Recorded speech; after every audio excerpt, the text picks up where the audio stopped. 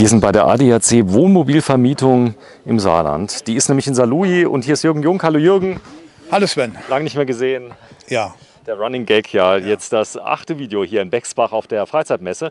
Ihr habt eine ganz große Wohnmobilvermietung. Genau, wir sind Franchise-Nehmer vom ADAC und äh, vermieten im Saarland eben Wohnmobile sämtlicher Couleur, eben über den ADAC beziehungsweise mit dem ADAC und man kann uns eben da über die Internetseite auch finden. Entweder einfach eingeben ADAC Wohnmobile oder eben wohnmobile-saarland.de.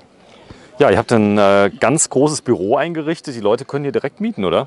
Genau, wir haben also ein Verkaufsbüro, das ist zum Verkauf der Fahrzeuge gedacht und natürlich zum Mieten gedacht, äh, für beides, weil äh, wir auch äh, bei der Vermietung jetzt zum ersten Mal äh, eben äh, Buchungslücken anbieten. Äh, sprich, ich habe hab hier vorne ein Schild, lass uns mal gerade schauen hier. So praktisch Last Minute, wenn man will. Genau, also wir machen also Buchungslücken 2018 bis zu 45 Prozent Ermäßigung. Die kann man auch auf der Internetseite sehen oder man kommt eben hier an der Messe vorbei.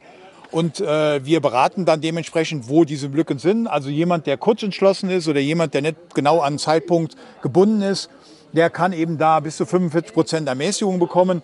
Und äh, das betrifft also alle Fahrzeuge, äh, die auch hier aufgemalt sind, vom kleinen äh, Kastenwaren an bis zum großen Liner äh, teilintegrierte bis hin zum Familienfahrzeug. Wir haben bei allen Fahrzeuggattungen immer noch Buchungslücken, die wir auch gerne füllen und das eben bis zu 45 Prozent Ermäßigung. Okay, das heißt insbesondere, wenn jetzt jemand zum Beispiel etwas flexibler ist, ähm, nicht mehr auf die Ferien angewiesen ist und so, genau. der findet immer was. Der findet immer was oder wenn er sagt, ich kann mich innen drin mal kurzfristig frei machen, ich habe vier, fünf Tage oder sechs Tage und der findet immer was, uns einfach ansprechen, entweder anrufen oder hier auf der Messe vorbeikommen und wir schauen dann, wo es geht. So, du hast noch Partner mit dabei? Genau, wir haben noch zwei Partner mit dabei. Es ist einmal die Firma Accusys, äh, die uns beliefert mit hochwertigen Batterien, Aufbaubatterien und Starterbatterien. Ähm, der Firma Vata, die wir dann verbauen in die Fahrzeuge, äh, Ladegeräte, Startgeräte. Und äh, die Teile gibt es auch alle bei uns im Shop in Saarlouis, im Industriegebiet, in der Industriestraße 3. Und äh, wer da Bedarf hat, der äh, möchte gerne uns auch ansprechen hier auf der Messe beziehungsweise auch im Shop. Wir machen auch jetzt eine Aktion während der Messe für die äh, Aufbaubatterie, die Waterbatterie. Und da kann der Herr von Accusys jetzt noch was dazu sagen. Hier ist Björn Kuba, hallo. Hallo erstmal. So, wenn Sie mal so lieb sind, von dem Zelt mal weggehen und mal das größte Modell mal mit runter wegnehmen. Denn, denn Ihr Zelt ist rot und ähm, dadurch ist das Filmen fast unmöglich. Aber wir, wir, wir, wir machen es jetzt mal etwas, etwas flexibler. Da haben wir nämlich ein ganz tolles Gerät. Da ist nämlich mal an ein ganz großer Lithium-Ionen-Akku drin, oder? Das ist richtig. Das Ladegerät ist mit einem Lithium-Ionen-Akku versehen, ähm, wo man nicht nur eine Bleisäurebatterie, sondern auch eine Aufbaubatterie mit laden kann. Das Ladegerät haben wir mit verschiedenen Kapazitäten. Fängt an bei einem kleinen Ladegerät mit 0,8 Ampere Ladestrom für Motorräder und geht hoch bis 26 Ampere Ladestrom für unter anderem für LKWs und Baumaschinen, die wir im Programm haben. Und die können dann natürlich hier auch gerne bezogen werden. Wozu ist so ein Gerät gut? So ein Gerät wird hauptsächlich zum Aufladen einer Starterbatterie bzw. einer Aufbaubatterie benötigt. Okay, die ist es leer zum Beispiel, komplett leer? Ja, wenn sie leer ist, ähm, ist gar kein Thema. Die kann mit einem sogenannten Boost-Modus wieder regeneriert und aufgeladen werden. Ähm, da wird einfach eine Taste gedrückt, dann wird sie aus der tiefen Entladung versucht herauszuholen, so dass die Batterie dann auch wieder kurzfristig einsatzbereit ist. Okay, also das darf in keinem Haushalt fehlen, äh, zumindest in keinem äh, modernen Mobilcamping. Denn wenn ich eine Solaranlage habe und die ist mal restlos leer, was ja eigentlich nicht passieren kann, weil da ein Spannungswächter ist. Genau. Aber es könnte doch. Ja, normalerweise nicht. Wenn die restlos leer wäre, dann wäre entweder die Batterie kaputt oder das Ladegerät der Solaranlage wird nicht mehr funktionieren. Ansonsten ähm, wird die Batterie automatisch nachgespeist über die Solaranlage oder die Batterie wird geladen über den Ladestrom des Fahrerhauses, also des Motors. So, und wozu wir das ist jetzt zum Beispiel ganz gut.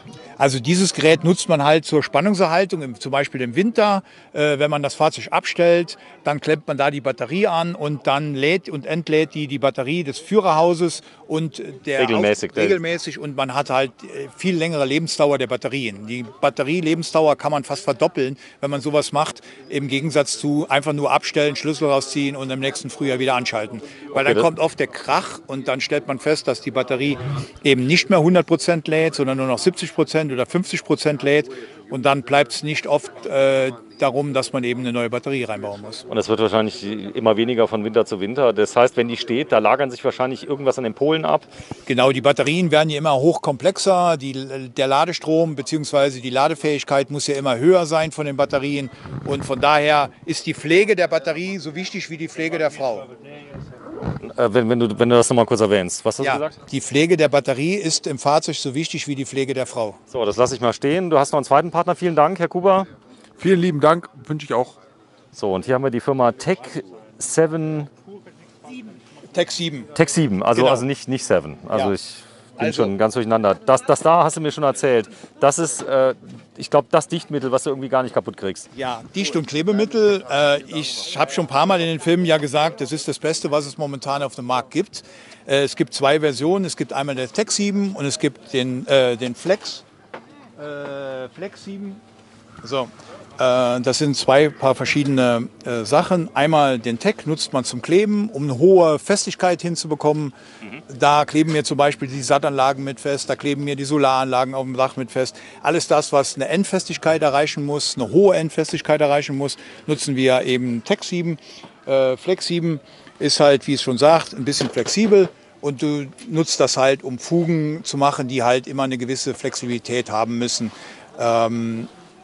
und gibt es halt in Weiß und in Schwarz. Und das Wichtige beim Weiß ist, das haben wir auch schon mal im Video gezeigt, äh, es, wird nicht schwarz. Es wird nicht schwarz. Und wenn es mal Rußbelagerungen habt, kriegst du es problemlos wieder runtergewaschen, weil es gibt auch einen Reiniger dazu, äh, den man nutzen kann. Dieser Reiniger und den Fetter kann man auch nutzen, wenn man eine Installation, eine neue Installation macht, um das Ganze zu kletten.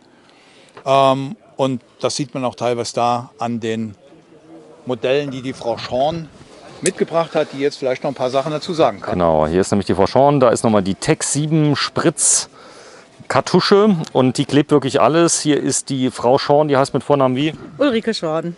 Hallo Ulrike. So, Tech 7 ist ein guter Kleber.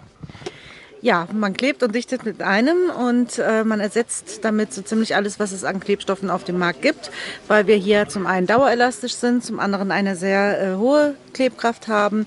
Wir können bei Wind und Wetter arbeiten, egal ob es regnet, schneit.